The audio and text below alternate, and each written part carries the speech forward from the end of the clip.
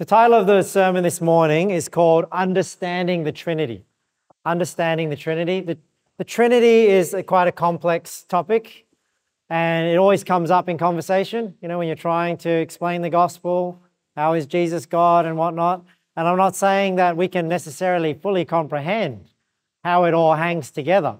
You know, like you can uh, look under the hood of a car and just go, hey, that's how it works. But that's what I'm going to try and attempt to explain this morning. So when I explain the Trinity to people and how the Trinity works, how God was manifest in the flesh, um, I put this diagram together to help you understand uh, what I'm seeing or how I think it all hangs together. But ultimately, it's, it's all the one God. So we'll start here in 1 Timothy 3.16, where it says here, without controversy, great is the mystery of godliness. God was manifest in the flesh justified in the Spirit, seen of angels, preached unto the Gentiles, believed on in the world, received up into glory. Now, this verse is not saying that the mystery of godliness is still a mystery, right? This, this, this verse is actually telling us what the mystery of godliness is. So sometimes people use this verse to say, well, without controversy, great is the mystery of godliness, to say, well, you know what, we can't really understand at all how God works, and, and uh, you know, it's, it's all too complicated, and, and it's not something that we can really understand.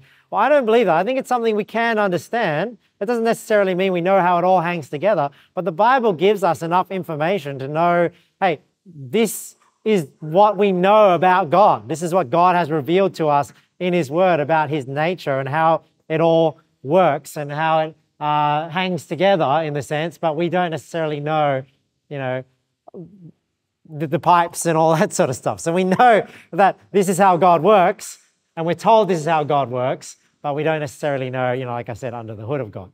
So what is the mystery talking about here? This verse is not even really talking about the Trinity as such, the three in one, right? What is the mystery that this verse is talking about? This verse is talking about the fact that God was manifest in the flesh. So that is one of the complications of God's nature as well, that this God, who is a spirit, entered into the physical world and was manifest in the flesh. So this verse is stating that there is a mystery, not that it still is a mystery. The mystery is that God was manifest in the flesh. And this is a great verse to show that God, Jesus Christ, is God because God was manifest in the flesh. Jesus Christ was that. Jesus Christ is God. So even though the mystery may be difficult to comprehend, it doesn't mean it's no, it doesn't mean it's still a mystery, right? So as I go through this sermon, I'm going to start building on this canvas here. Oh, it's a bit cut off at the top there. Oh, we can see here, this side represents the spiritual realm. And this side is going to represent the physical realm. And we can see here that there's the mystery that is being revealed to us that the God that existed in the spiritual realm was manifest in the flesh. 1 Timothy 3:16. Now let's first talk about the paradox. The paradox. Yeah, thanks, Gersh. So the reason why it's a, it's a little bit difficult to comprehend the nature of God is because the nature of God is somewhat paradoxical. What is a paradox? A paradox is two statements that seemingly contradict, but they are both true. This, and there are two paradoxes with God, right? There's the three in one, and there's the fact that God, uh, Jesus Christ, is both man and God.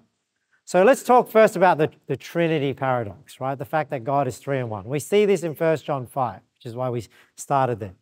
This is he that came by water and blood, even Jesus Christ, not by water only, but by water and blood. And it is the Spirit that beareth witness, because the Spirit is truth.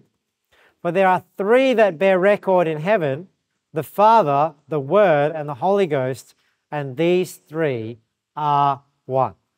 So, this is why this verse in 1 John 5 7 is so hotly disputed, because it's the clearest place in the Bible that the Trinity is stated right? It says there are three that bear record in heaven. It gives us the three persons within the Trinity the Father, the Word, and the Holy Ghost. And then it says, and these three are one. So this is this paradox here. Now, people will you know, get up in arms or they'll dispute over what are the right terms to describe these three that are one within the Trinity. And some people will say, hey, it's, it's one essence and three persons.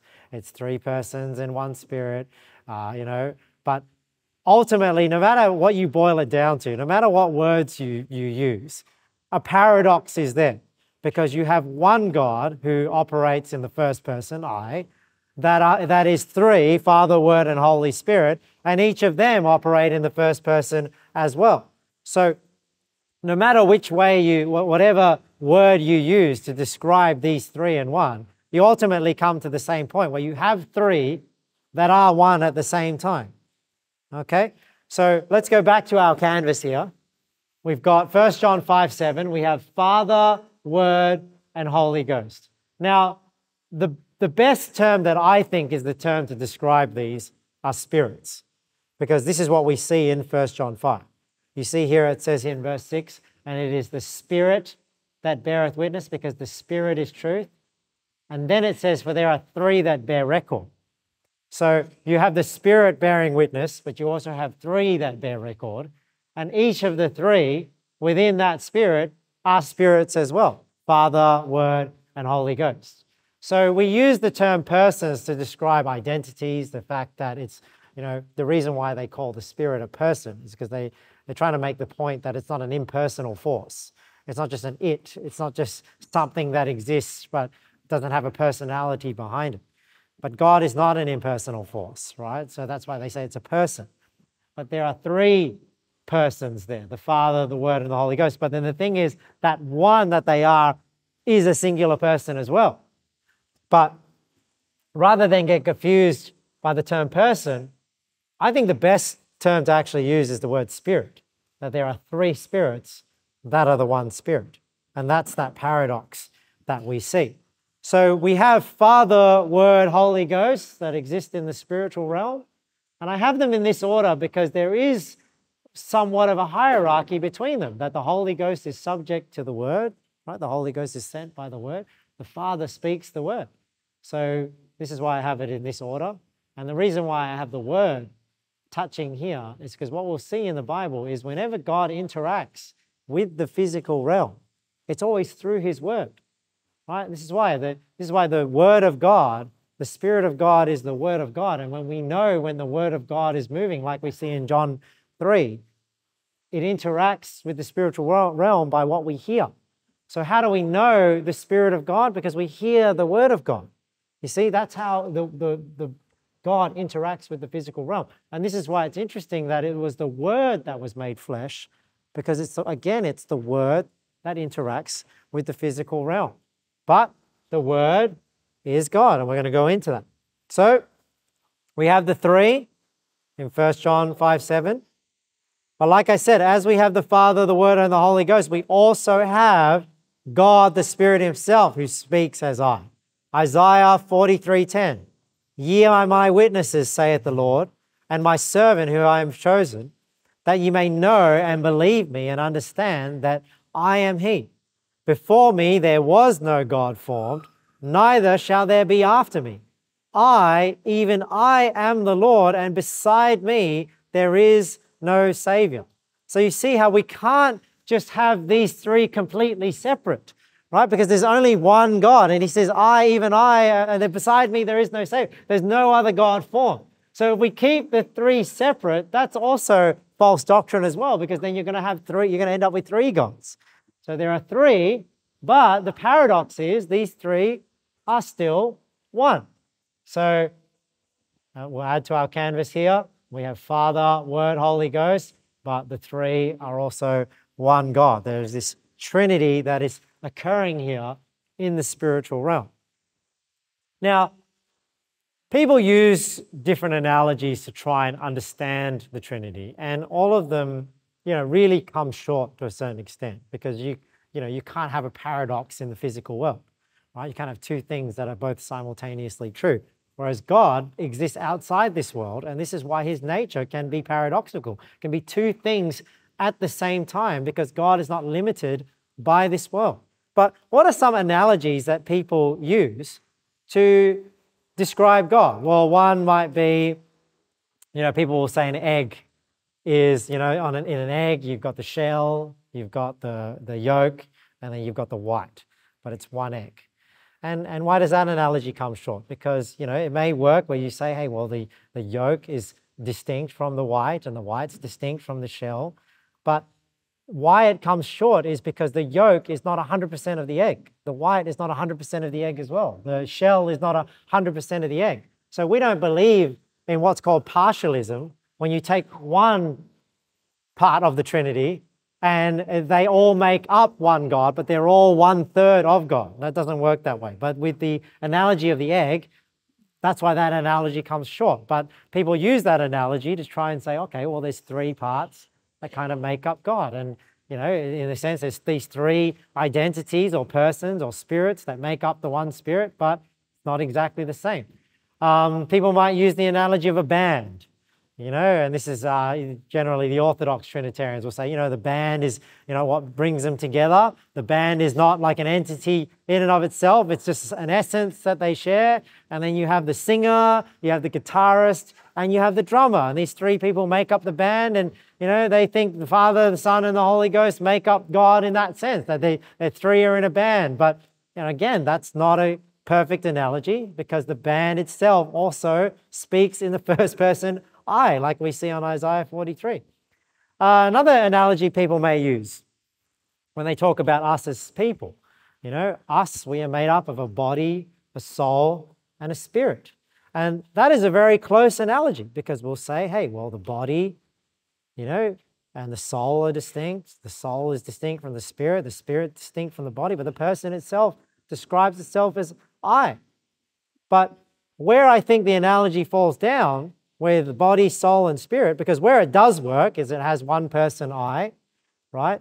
And you even have parts of that body, like, you know, when we say things like the, the, the spirit is willing, but the flesh is weak.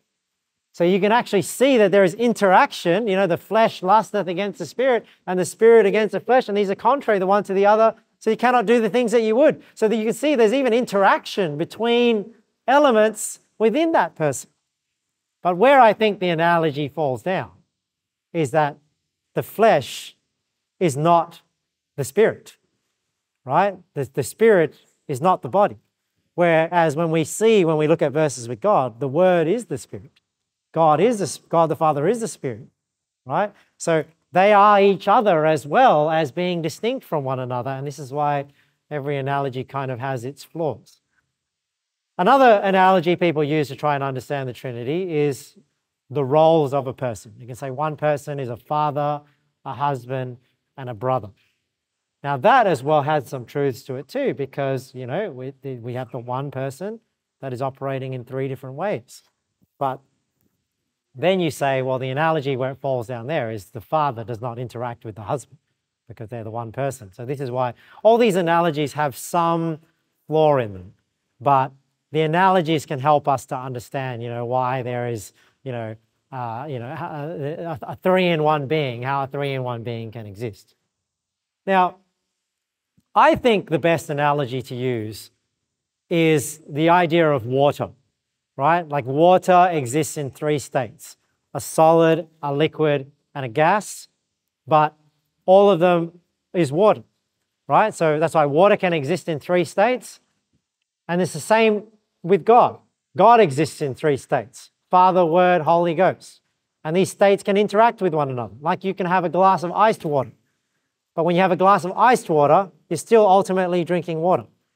Now, the reason why I think water is, is a good analogy, and I'll just preface it by saying, you know, it's not that I believe that God changes from one form to another, right? So think of it like all the water in the world exists in three states in some form or another. And it's like God. God exists in three states Father, Word, and Holy Ghost. And He's always that, but then they are all the one God as well. Now, the reason why I think water is the best analogy for the Spirit is because the Bible actually uses the analogy of water for the Spirit in the Bible. Let's look at a couple of verses here. Look at John 7 37. In the last day, that great day of the feast, Jesus stood and cried, saying, If any man thirst, let him come unto me and drink. He that believeth on me, as the scripture hath said, out of his belly shall flow rivers of living water. And look at this in verse 39. But this he spake of the Spirit, which they that believe on him should receive. For the Holy Ghost was not yet given, because that Jesus was not yet glorified. Okay, let's look at some others. Isaiah 44 3. For I will pour water upon him that is thirsty, and floods upon the dry ground. I will pour my spirit upon thy seed, and my blessing upon thine offspring. And they shall spring up as among the grass, as willows by the water courses. So he's saying, like he blesses the ground with the water and the showers, he's saying he's going to pour the Spirit on them so that they have a blessing on their offspring and whatnot. So it's like he's blessed, like blessing the fruit of the ground, and then he's going to pour the Spirit to bless the seed and the fruit of actual people. Right? So this idea of pouring the Spirit comes from the analogy of the Spirit being like water. Acts 2 And it shall come to pass in the last days, saith God, I will pour out of my Spirit upon all flesh, and your sons and your daughters shall prophesy, and your young men shall see visions, and your old men shall dream dreams. Um, and on the and on thy servants and on thy handmaidens I will pour out in those days of my spirit, and they shall prophesy. So again, that analogy of the spirit being poured out like a liquid. And they of the circumcision which believed were astonished, as many as came with Peter, as Acts 10 45, because that on the Gentiles also was poured out the gift of the Holy Ghost. Think about baptism. Matthew 3:11.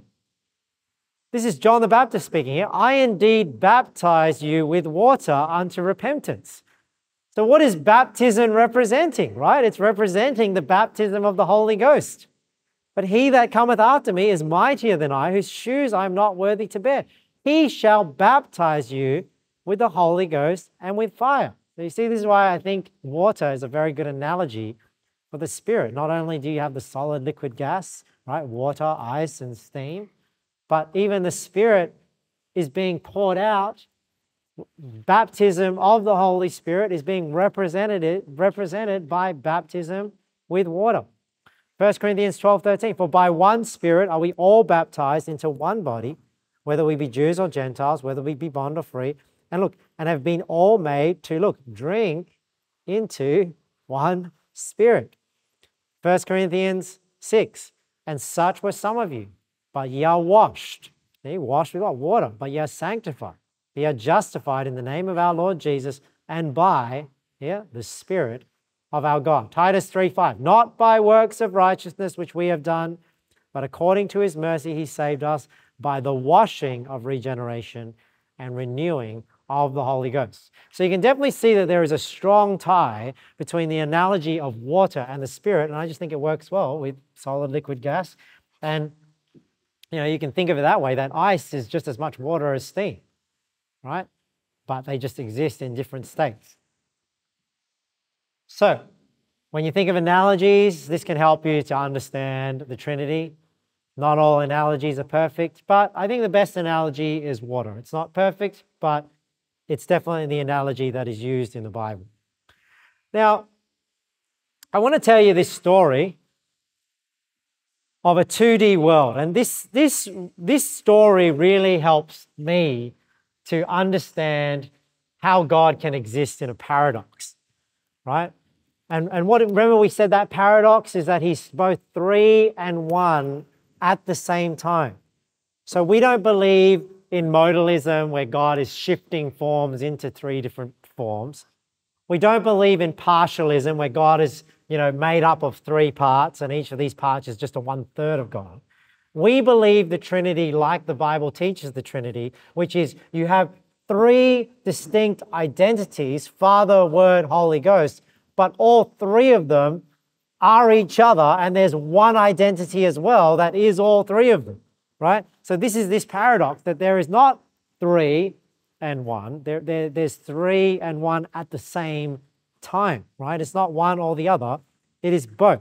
Just like, you know, when we talk about Jesus being man and God, it's not one or the other. And this is why, you know, it's, it's very hard to sometimes explain this to people that don't understand or don't believe what God has revealed in His Word because it's not one or the other, it's both. Jesus Christ is both God and both man. Now, if we think about a 2D world, this is where we can help us to get our head around why a being that exists in a world outside of the one that we live in is almost impossible for us to comprehend how it all hangs together when that being interacts with the 3D world. Because if we imagine us as a 3D being interacting with a 2D world, you can see the same limitations on those that exist in the 2D world. So, how does this analogy go, this story go? So, you have Mr. Green here. Mr. Green in this 2D world. So, if you imagine this plane exists in a 2D world, right? So, this is Mr. Green. Now, we can see that Mr. Green is green because we exist in a 3D world, right? Because we can see it from this angle. But, but Mr. Green can't, right? If you can imagine a 2D world, he exists on that plane, right? Now let's say Mr. Green meets Mr. Blue. Now we can see that he is green and we can see that he is blue. But what does Mr. Green see when he meets Mr. Blue? And likewise, when Mr. Blue meets Mr. Green, what do they see in this 2D plane? They see a line, right? So this is interesting as well because now it makes you kind of, you know, I'm not saying it works exactly like this, but you can kind of understand that somebody who exists outside of our world can see things that we can't. So it's like, you know, we say God can see our faith. God can see our heart. He can see things. Well, it's like here, we can see things that they can't. They can see a line, but we can see what's inside them, right? We can see the green and we can see the blue just like God can see what's inside of us. So I think this analogy and this story works really well. So that's what they see. And you know, and even if they were to circle each other, they're going to just see the same line if you understand geometry. Now, let's say Mr. Green is here, you know, on his own, and you know, he has a an experience with somebody outside of that world. So let's say I'm here, and let's say I stick my finger into this plane, right? Now, all of a sudden something appears, right, to Mr. Green. Now, that's my finger going through that plane. Now, what does Mr. Green see when my finger goes through that plane? He's going to see this line all of a sudden appear, right? That's, that's Victor interacting with this 2D world, right? Now, let's say in another instance, Mr. Blue has an encounter with God or has, has a revelation from God, and this time I stick three fingers into this plane, right? So that's my three fingers into this plane. What is Mr. Blue going to see? Right? He's going to see three lines. Now let's say now Mr. Green and Mr. Blue get together and talk about what God has revealed to them about, oh, you know, what Victor's revealed to them about the nature of Victor. Well, obviously, Mr. Green is going to say, no, I, I, Victor, Victor revealed himself as one line, right? Because there's one finger going through there. They don't know that it's a finger, right? They just know that, hey, this is how it, he's, he's manifested into this world, how we know how he looks. And Mr. Blue is going to say, no, no, no, I saw three fingers. And then that's when the sparks fly, right? Is he one? Is he three? And they're going to be arguing and they know. And, and that's like us arguing over what we see in the Bible because sometimes we see three in the Bible and other times we see one. But what is the actual truth? The actual truth is that there is a three in one being. So I know I'm making the point that I'm just sticking my fingers into this plane, but that's not what God's doing, right? God's not just manifesting himself in different ways. It's that he is three and he is one, and that's the two different things that we see in the Bible. And Christians obviously fight over it and unfortunately divide over it and whatnot, but this is, should not be the case. It should be Christians being able to discuss hey, how has God revealed himself to us in his word? And let's try and understand the full picture, right? So if you understand this story of a 3D being interacting with a 2D world, it helps you to understand why God can be two things at once, because God is a being outside of our world that is interacting with our world, revealing himself to this world. And we see there the one spirit that is also three spirits Father, Word, Holy Ghost. And then the mystery of God, right? The mystery of godliness is what? That that spirit then entered into and was incarnate, was manifest in the flesh. And that again is, a, is another paradox. There are two paradoxes going on. So let me try and break this down into a visual diagram. So I've talked about this before because I've obviously preached on this topic before.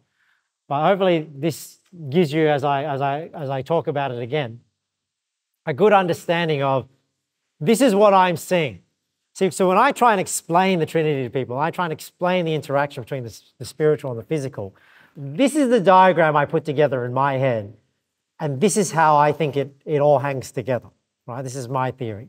So let's go through this visual diagram. So first of all, let's start off at John 1 1, where we, where we clearly see this paradox at play as well between the Father and the Word.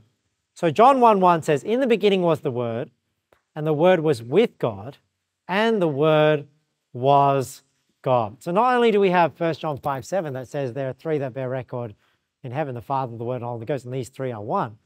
This as well tells us about the paradox within that Trinity between the Father and the Word, that you have the, the Word was with God and the Word was God. So let's go back to our canvas here and we're going to like start drawing some lines to, to represent the relationship between these three. So here we've got John 1 1, right? So we got the, the Father is the Word and the Word is the Father because we're getting it from here. The Word was with God right? So they're at one point distinct, but the Word was God, right? So that is here. Now, how do we know in John 1 1 that the word God there is referring to God the Father? Well, we compare this to 1 John 1, right? 1 John 1, look at what it says here that which was from the beginning, which we have heard, which we have seen with our eyes, which we have looked upon, and our hands have handled of the word of life. For the life was manifested, and we have seen it and bear witness, and show unto you that eternal life, which was, look at this, with the Father, and was manifested unto us. So if we compare spiritual with spiritual, we can see that in 1 John 1, what was the word with in the beginning? It was with the Father. So this is why we know that in John 1 1, it says, In the beginning was the Word, and the Word was with God. What was it with the Father? But then it also then says, And the Word was God. The Word was God the Father. So this is why I think in our diagram, we can say the Word is the Father, the Father is the Word, but the Father is also with the Word. So we got 1 John 1 1 to 2. Now, this is the problem I have with the traditional Trinitarian diagram. See, the reason why they draw it this way, where there's God in the middle, because they don't believe that these are each other as well. But we just saw in John 1 1 that you have the Father and the Word, which they have as the Son here, right? Uh, that, that, that they are with one another, but they also are each other as well. Whereas the traditional teaching of the Trinity, the Orthodox Trinity, say that they just share this essence. So that's why they have they use that analogy like the band, you know, like the egg. You know, it's like there's three of them, uh, but they never really come together as one. They just share like this same substance. The other problem I have with this diagram is it uses the term here. The Father is not the Son. You know, the Son is not the Holy Spirit. The Father is not the Holy Spirit. And I don't believe this is biblical because when we look at the verses, we will see that they are each other as well. So not only are they distinct, but they are each other. We already saw that in John 1 1. So you'll never see in the Bible where it says the Son is not the Father.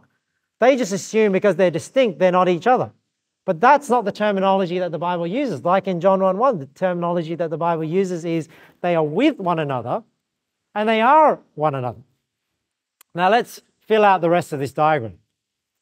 So now let's look at the Word and the Holy Spirit. Ephesians 6 and take the helmet of salvation and the sword of the Spirit, look at this, which is the Word of God. So we see here the Spirit is the Word of God, right? Even though you have Father, Word, Holy Ghost. The Word is the Holy Ghost and vice versa, like we see here in Ephesians 6 17. So let's add that to our diagram here. Word is Holy Ghost, that's that inner line. But the Holy Ghost is also with the Word. Let's have a look at the verse here in John 16. John 16, 13, where we see them distinct here. Howbeit, when He, the Spirit of truth, is come, He will guide you into all truth. For He shall not speak of Himself. So you see, the words that the Holy Ghost is speaking are not His own words, but who, whatsoever He shall hear, that shall He speak, and He will show you things to come. So there you can see there that he's taking of God's word, right? And Jesus is specifically talking about himself there. He's taking of the word of God and speaking of words, the Holy Spirit, that are not his. So you see a distinction there between the word of God and the Holy Spirit, which are the words that the Holy Spirit is speaking. John 16, 13. So let's add that to our diagram here. We got John 16, the word is with the Holy Ghost because they're distinct there, but Ephesians 6, 17 is saying the word of God, the, the sword of the Spirit, which is the Word of God. Now let's go on. Now let's look at the Father and the Holy Spirit. Right? Father and the Holy Ghost. John 4 23, but the hour cometh, and now is when the true worshippers shall worship the Father in spirit and in truth, for the Father seeketh such to worship him. God is a spirit, and they that worship him must worship him in spirit and in truth. So, like I said before, where the best, I think, term for the three is these three spirits in one, we see here the Father is also a spirit. We know the Word of God is a spirit, right? Because Jesus said, The words that I speak unto you, they are spirit and they are life. And of course, the Holy Spirit is a spirit, right? So, this is why I think three spirits that are one spirit. Spirit is like water, water is a great analogy. So here's the verse where we see, hey, God the Father, because God here is talking about the Father, worshiping the Father, saying God is a spirit, and they that worship him must worship him in spirit and in truth. But the Father is a spirit. Now look at this verse in Romans 8. This is where we see that the Spirit of God, the Spirit of the Father, and the Holy Spirit, and even the Spirit of Christ are like all one and the same thing. Romans 8 9. But ye are not in the flesh, but in the Spirit if so be that the Spirit of God dwell in you. So, what's that? That's the Holy Spirit. Holy Spirit dwells in you. Now, if any man have not, look at this, the Spirit of what? Christ, he is none of his. So, you see, the Holy Spirit in you is the Spirit of Christ.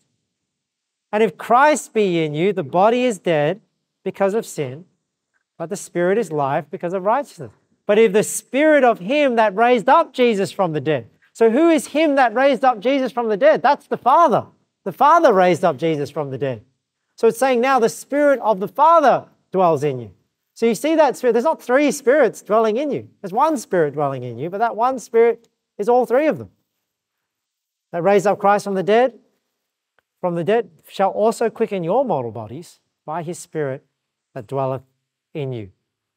Okay, so now we have Romans 8, 9 to 11, we know that the Father is a spirit, but we know that they are each other because the Spirit is dwelling in you, and it's referring to them all as the Spirit of Christ, or the Spirit as Spirit of Christ, Spirit of God, Spirit of Him that raised up Jesus from the dead. So let's see here now the Father being distinct from the Holy Ghost. John 14, 16. Look at what Jesus says here. And I will pray the Father, and he shall give you, Look what it says here, another comforter, that he may abide with you forever. So this in this verse, we can see that the Father is distinct from the Comforter, who is the Holy Ghost. So we put John 14, 16 there, is with the Father. All right? So when I think of the Trinity, Notice how we haven't got to this point yet, right? Which was the God manifest in the flesh. Because the way I see it is the Trinity exists in the spiritual realm, right? It is the three in one spirit that is being described here. Now, like I said, we can't necessarily just see it. Like we are like the 2D people trying to comprehend the 3D world, right? Mr. Blue and Mr. Green. But what has been revealed to us in God's word, this is what we can see so far that there are three spirits that are the one spirit, that they are distinct from one another, but they are one another. They're one and three at the same time, right? That's the Spirit of God. Now, when we think about the common terms that are used in the Bible, the term God generally refers to the Father aspect of that Trinity. Like it says here in 1 Corinthians 8, but to us there is but one God, the Father, of whom are all things, and we in him, and one Lord Jesus, by whom are all things, and we by him. So I'm just going to put a dotted line here to say, even though we know this is all God, right? It's not that God is just one part of it. Generally, when the Bible is referring to the word God, it is referring to that aspect, right? The aspect that God is our Father in heaven. But again, the Father is also these things. So we can't just separate off the Father. The Father is one in the three of this three in one God that is the God of the Bible. Now, there's a term that has been given to the Holy Ghost. John 14, 26. But the Comforter, we saw that in some other verses, which is the Holy Ghost, whom the Father will send in my name. He shall teach you all things and bring all things to your remembrance, whatsoever I have said unto you. So again, we have the term the Comforter in John 14, 26, that generally, generally refers to the Holy Ghost but again, that doesn't mean the Holy Ghost can be separated off. The Holy Ghost is still the Father, still the Word. They're with one another. They all are each other. That's that's the God. But then, like I said, we have these terms in the Bible that refer to different aspects, uh, and, that's the way they're commonly used. But it's still all the one God, right? You can't, like I said, you can't separate it off. Now let's talk about this mystery that God was manifest in the flesh. And the Word was made flesh and dwelt among us, and we beheld his glory, the glory as the only begotten of the Father, full of grace and truth. So we know that God was manifest in the flesh, the incarnation. And it says the Word was made flesh and dwelt among us, and we beheld his truth. So I've got here made, John 1.14, the Word was made flesh. But can we say that Jesus Christ is only the Word? No, because you can't just like detach the word and say Jesus Christ is only the word and this whole other apparatus doesn't exist, right? So, yes, while it says the word was made flesh, why? Because the word is what interacts with the physical realm. You know, we hear the word of God, and this is why the word is made man of flesh, because the word, like I said, is what interacts with the physical realm. So we have John 1:14, the word was made flesh. But we also see this going back the other way as well. I don't know if you know that. 1 Corinthians 15 45. Look at what it says here. And so it is written the first man, Adam, was made a living soul. The last Adam was made a quickening spirit. So you have the Word made flesh, but you also have the last man made a quickening spirit. And when we go to John 6 63, the word of God is that quickening spirit. It is the spirit that quickeneth, the flesh profiteth nothing. The words that I speak unto you, they are spirit and they are life. you can see that it's building this here, right? Last Adam was made a quickening spirit, the word was made flesh. Now, why do I say, even though the Bible describes it as, like we have these common terms, like God is the Father, Comforter, the Holy Ghost, we have the word here referring to what's interacting with the physical realm, with the, the actual spoken word of God and the word of God incarnate, which was Jesus Christ. But like I said, it's not that he's just one third of God, one third of this Trinity. He's the whole thing as well. Because you have also verses, right? Like here in, uh, let me just skip forward a bit because I just want to show you here in uh, Colossians 2, where the Bible says here, Colossians 2 9, for in him dwelleth all the fullness of the Godhead bodily. So, this is why you can't separate him off. Now, this man that was made flesh, we're just going to go back. What is the term referred to, this man that was in the flesh? Well, Luke 1 35, it says here, And the angel answered and said unto her, The Holy Ghost shall come upon thee, and the power of the highest shall overshadow thee. Therefore also that holy thing which shall be born of thee shall be called the Son of God. So when we refer to the Son of God, the Son of God is that Spirit of God made flesh. So people say, well, which one is Jesus? Is he the Son of God or is he God? Well, it's because he's both, because it's that Spirit that became flesh, right? So this is why there is this paradox as well. This is why, if you understand, there's not just one paradox at play here, there's two paradoxes at play. One paradox exists in the spiritual realm, which is there are three spirits that are the one spirit. The other paradox that is going on is this great mystery of godliness, where God was manifest in the flesh, where Jesus Christ is not just man, because it's not that this is disconnected here, but he's man because he was manifest in the flesh, but he is also the fullness of the Godhead bodily. So the picture of God is not just this. It's not just this, it's the whole thing, right? This is all of God, right? And it's all going on all at the same time, and different aspects are being alluded to in different scriptures within the Bible. Now, what is the name of the Son of God? Matthew 1 21.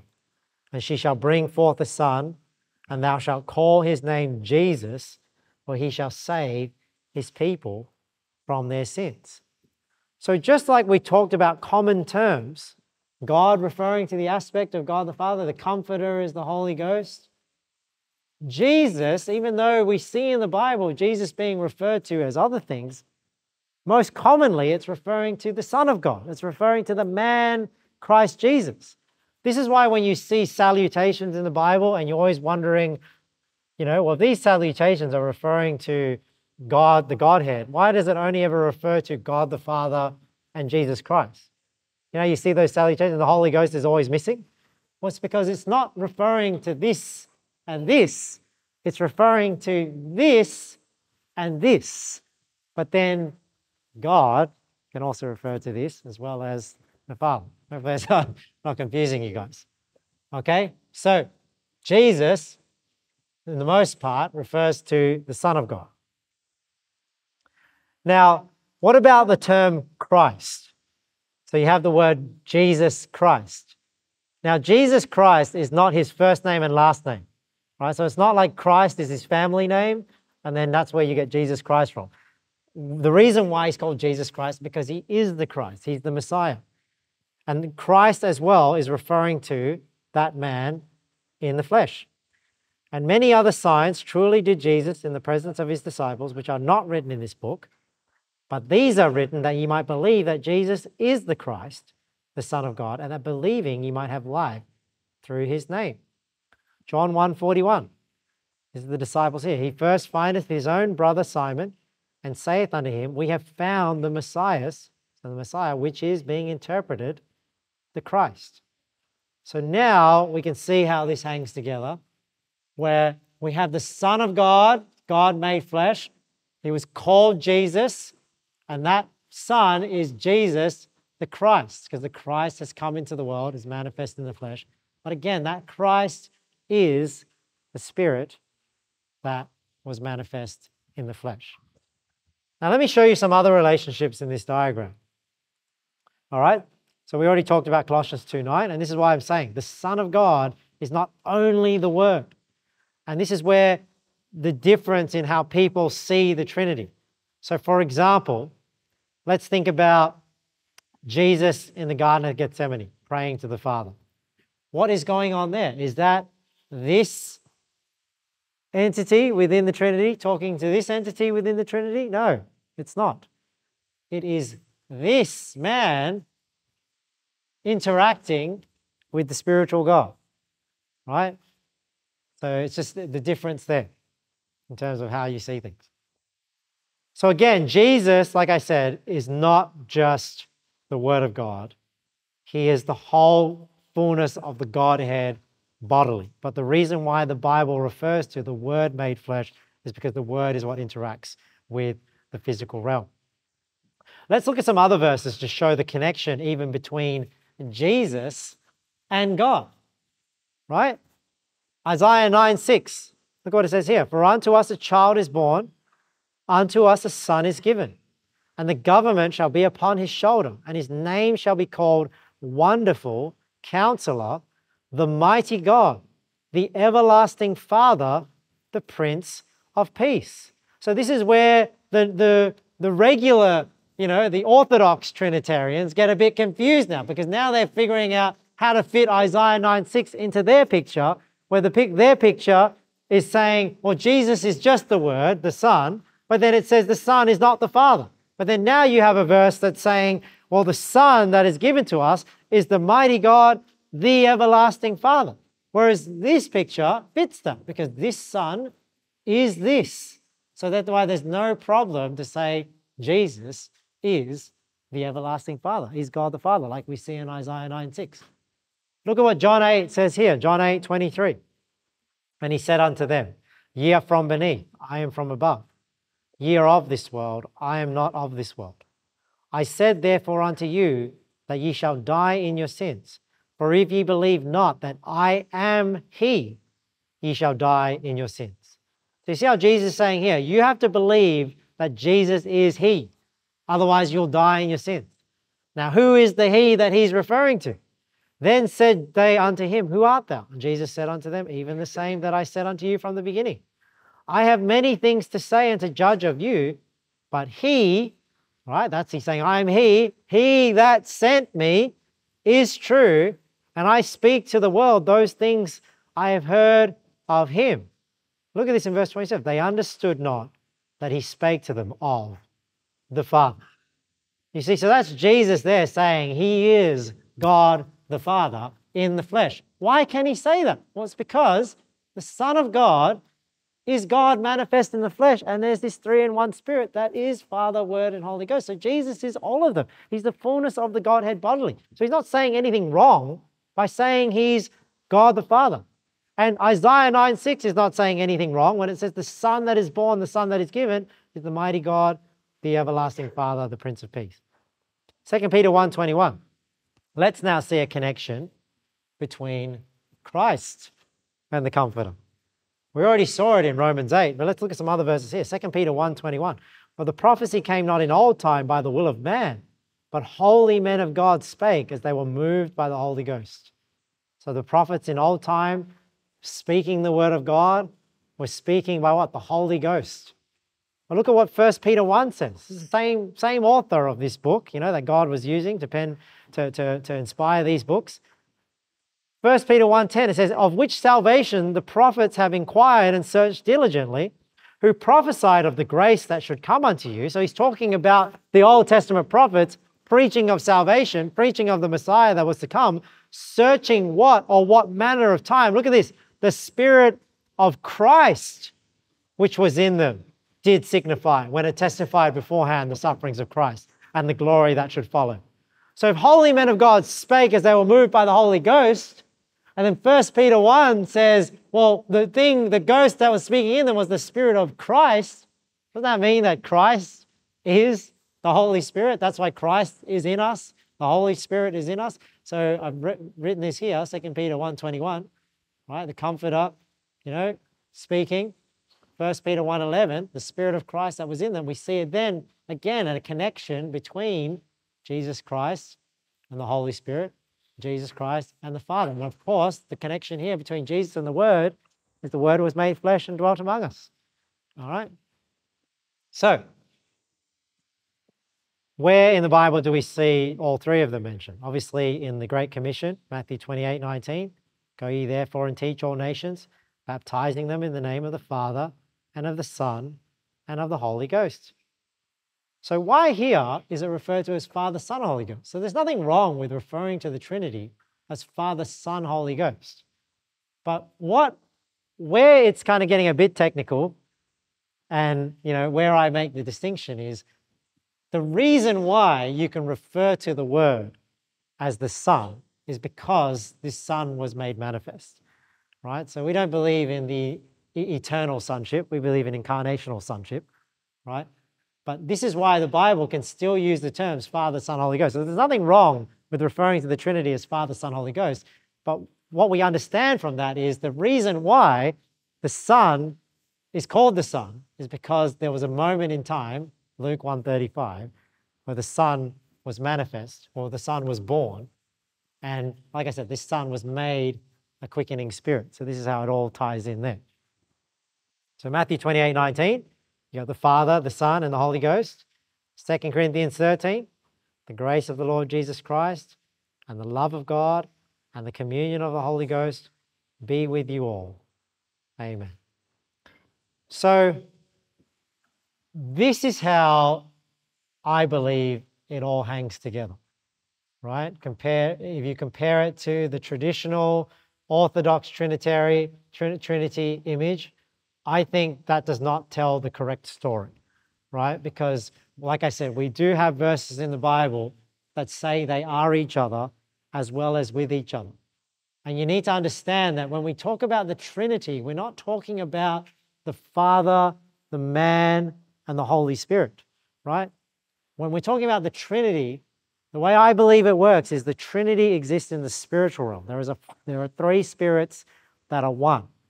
But the man Christ Jesus is not just the second person of the Trinity. The man Christ Jesus is that whole spirit, is the Spirit of God manifest in the flesh. And this is where sometimes you get different interpretations of things in the Bible. Like I said, in the Garden of Gethsemane. So they all see the Garden of Gethsemane as first person talking to the second person. Whereas we would see it as no, it is the Spirit of God interacting with the man Christ Jesus. Okay? So, look, that may be a bit complicated. You may need to go back and listen to this sermon again, go back and look at the references.